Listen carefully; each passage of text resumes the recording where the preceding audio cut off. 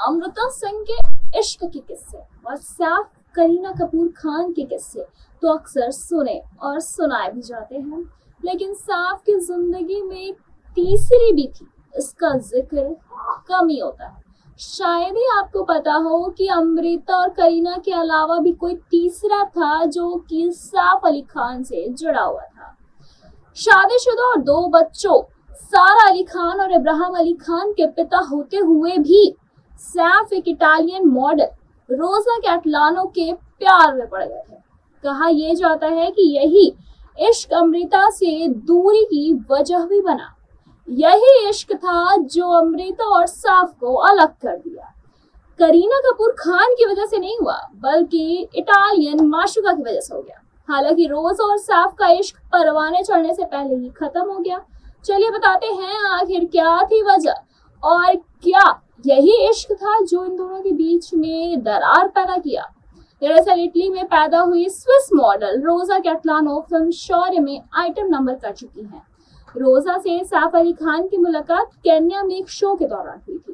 रोजा एक प्रोजेक्ट के तहत वहाँ गई थी। सैफ से मुलाकात हुई, प्यार हुआ और रोजा इंडिया आ गई।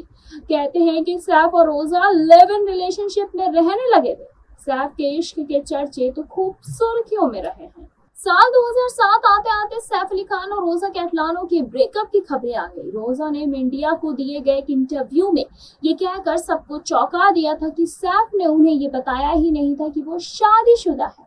मतलब सरेआम सैफ अली खान ने धोखा दिया था। जब मैं इंडिया आई तो पता चला था कि सैफ अपने घर नहीं कहीं और रहते हैं। मुझसे मिलने के बाद उनका डिवोर्स हो चुका है। और वो दो बच्चों के पिता हैं। रोजा साफ़ की लव स्टोरी का दी एंड दो साल में ही हो गया था। मीडिया रिपोर्ट्स के मुताबिक रोजा ने साफ़ के मूड स्विंग से परेशान होकर दूरी बना ली। रोजा ने बताया था कि वो साफ़ अली के बिहेवियर को हैंडल नहीं कर पा रही थी। रोजा ने यह भी कहा था कि सैफ ने उन्हें कभी भी फाइनेंशियली सपोर्ट नहीं किया।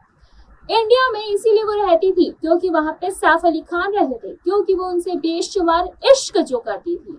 क्योंकि यहाँ उन्हें काम मिल रहा था, इसलिए वो इंडिया में रहती थी। लेकिन सैफ अली खान ने न कभी उन्हें फाइनेंशियली सपोर्ट किया, ना ही अपने बिहेवियर में कोई चेंजेस लाए, और ना ही वो उनसे रिश्ता निभा पाए। इसीलिए दो साल के अंदर ही ये रिश्ता खत्म हो गया।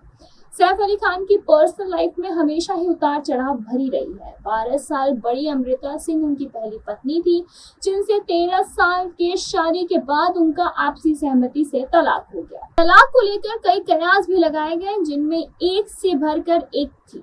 जिनमें से एक ये भी था कि अमृता के साथ शादीशुदा होते हुए भी साफ़ इटालियन मॉडल रोजा कैटलानो को डेट कर रहे थे। उनके साथ रिलेशनशिप में भी आ गए थे और लिव में रह रहे थे। मीडिया रिपोर्ट्स की माने तो सैफ और रोजा की पहली मुलाकात केन्या में हुई थी, जैसा कि हमने बताया। उसके बाद रोजा वापस से इंडिया आ गई सैफ के साथ रहने के लिए और वो दोनों यहाँ पे लिव में थे। इसके बाद दोनों की कुछ और मुलाकातें हुई। दोनों के बीच प्यार की चिंगारी तब और भड़की जब रोजा इटली में इंडिया आ गई।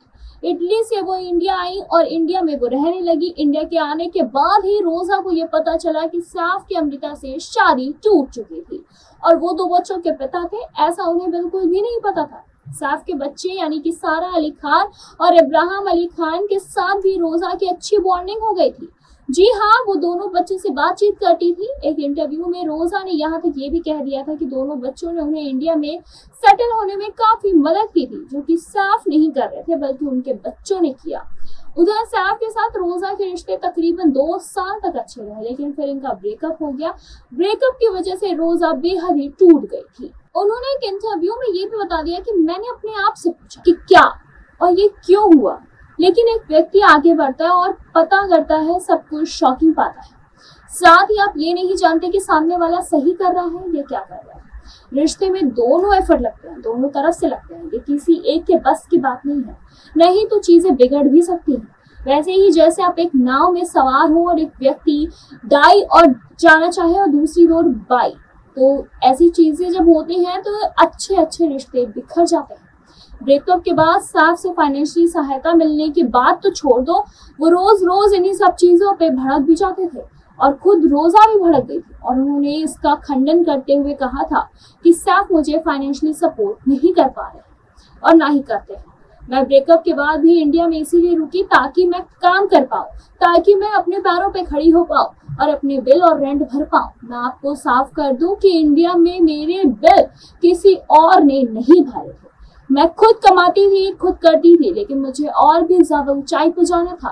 फाइनेंशियली चीज़ें थोड़ी सी सही करनी थी, क्योंकि मैं उस सिचुएशन में नहीं थी कि मैं अपनी चीज़ें सही कर सकूँ, या मैं किसी के ऊपर डिपेंड नहीं होना चाहती थी। सैफ अली खान की पर्सनल लाइफ हमेशा ही कठिनों से भरी रही है।